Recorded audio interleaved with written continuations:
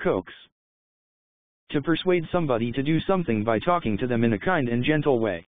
Mom tried to coax Billy to take his medicine. Do you think he did?